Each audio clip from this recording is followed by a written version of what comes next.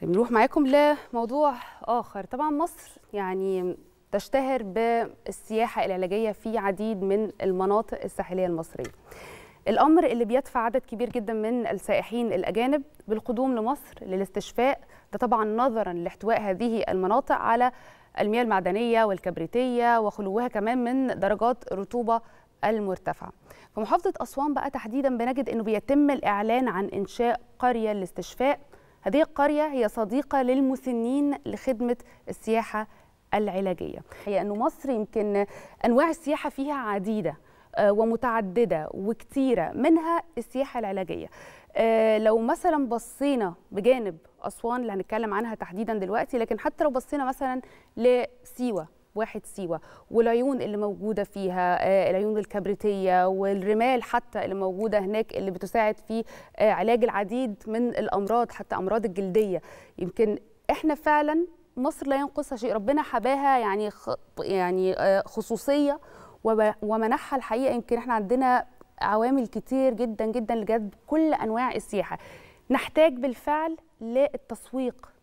لهذه الأنواع المتعددة والخصائص المتعددة والعوامل الكتير قوي اللي عندنا. لو هنتكلم عن جميع أنواع السياحة وبما إن إحنا بنتكلم تحديدا عن السياحة العلاجية فمرة أخرى عاد الاتصال باللواء مصطفى صالحين مدير جمعية الاستشفاء السياحي. أهلا بيك يا فندم وأتمنى تكون سامعني كويس دلوقتي.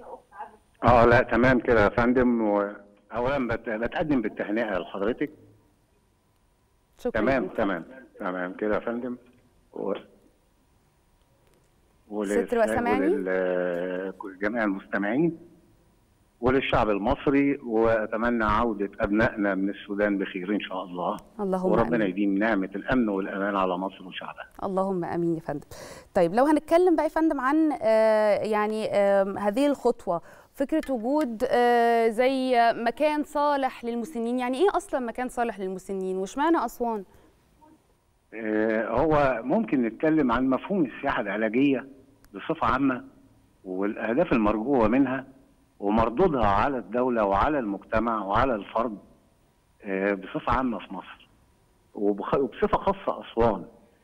يا فندم في دراسة موجودة عندنا هنا في هيئة في مكتب هيئة تنشيط السياحة المصرية. الدراسة دي من سنة 64 كانت عملتها الدول الإسكندنافية. نظرا لأن عندها نسبة أمراض الروماتيزم والروماتويد الامراض اللي بتنشأ عن البرودة الشديدة في الجو. فأعداد المصابين بالأمراض دي أعداد رهيبة والمصابين بأمراض العظام. الدول الإسكندنافية نزلت لجان علشان تشوف أنسب مكان لعلاج الأمراض دي بصورة طبيعية لأن العلاج الكيميائي مكلف جدا جدا. ال ال ال النسب اللي, اللي طلعت بيها اللجان دي اختارت حوالي 11 دولة على مستوى العالم. ال 11 دولة دولت على رأسهم مصر. وفي مصر اختارت أكتر من موقع. سيوة الوادي الجديد جنوب سيناء الفيوم كل دي أماكن بتصلح ولكن على رأسها أسوان.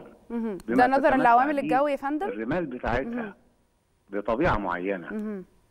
آه ألا وهي إن فيها أعلى نسب للاستشفاء في الرمال اللي موجودة في الغرب والكلام ده مش من يعني مش إحنا اللي بنقوله. دي دراسات اللي بتقول الكلام ده وحتى الصحف المصرية اتكلمت في هذا الموضوع.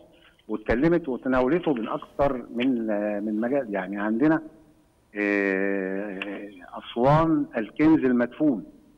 الكلام ده كان كاتبه الأستاذ ضياء حافظ سنة 2008 في جريدة الأهرام.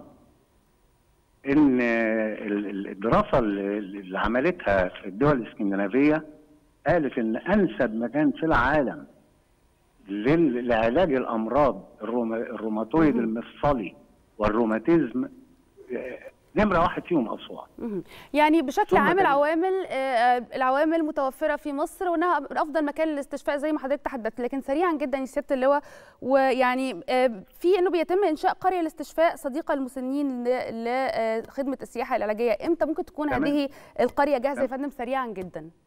تمام يا فندم وفعلا القرية دي موجودة حاليا. ودي مقامة على مساحة 15 فدان وبالظبط كده القرية دي موائمه تماما لاستقبال ال- وفعلا بتستقبل ال- الأجانب هايل. المسنين والمصابين بالأمراض هايل بشكر حضرتك جزيل الشكر سيادة اللواء مصطفى صالحين مدير جمعية الاستشفاء السياحي بشكرك يا فندم جزيل الشكر